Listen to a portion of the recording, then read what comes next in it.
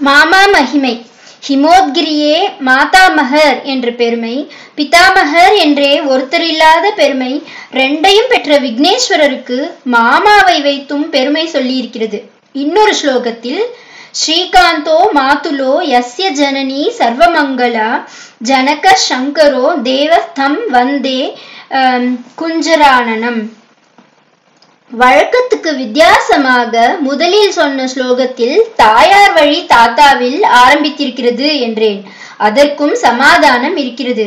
பெற்றோரை பிரித்து வைத்து சொல்லும்போது மாதா பிதா தாய் தந்தை என்று அம்மாவை முன்வைத்தே சொல்வதுதானே வழக்கமாய் இருக்கிறது வேதத்திலேயே மாதாவை தெய்வமாக கொள்ளு என்ற அப்புறம்தான் பிதாவை தெய்வமாக கொள்ளு என்று வருகிறது. அவ்வை வச்சனமும் அன்னையும் பிதாவும் முன்னறி தெய்வம் என்பதாக இந்த இரண்டு தெய்வங்களில் முதல் இடத்தை அன்னைக்கே தந்திருக்கிறது.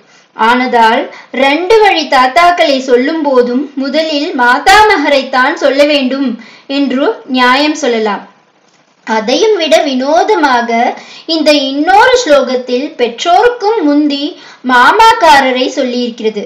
ஸ்ரீகாந்தோ மாதுலோ எஸ்ய மாதுலோ எஸ்ய எவருக்கு மாமா? மகாவிஷ்ணுவோ. மாதுலர் என்றால் மாமா. பிள்ளையாருக்கு பிரியமானது மாதுளம் பழம். அவரோ மாதுளருக்கு பிரியமானவர். ஸ்ரீகாந்தன் என்றால் லக்ஷ்மிபதியாக இருக்கப்பட்ட மகாவிஷ்ணு. இந்த பெயரை சொன்னதால் ஸ்லோகத்தை மங்களமாக ஸ்ரீ என்று ஆரம்பிப்பதோடு மாமாவை மட்டுமில்லாமல் மாமியான மகாலட்சுமியையும் சொன்னதாக ஆகிறது.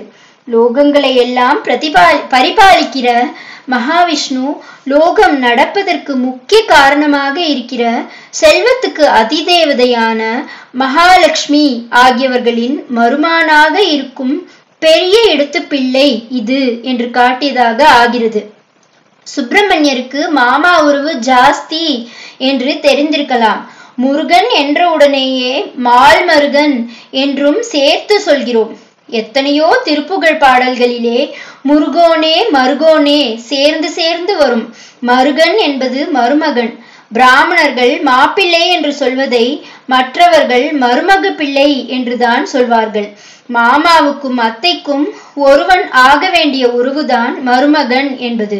மருமான் என்று பிராமணர்கள் சொல்வது. அநேகமாக தக்ஷணத்தில் மாமன் பெண்ணையோ அத்தை பெண்ணையோ தான் முறை பெண் என்று கல்யாணம் செய்து கொள்வதாய் இருப்பதால் மருமானே மாப்பிள்ளையும் ஆகிவிடுகிறான்.